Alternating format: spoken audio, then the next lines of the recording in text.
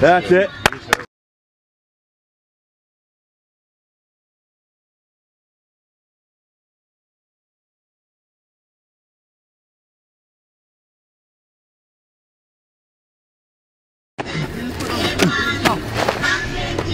That's it.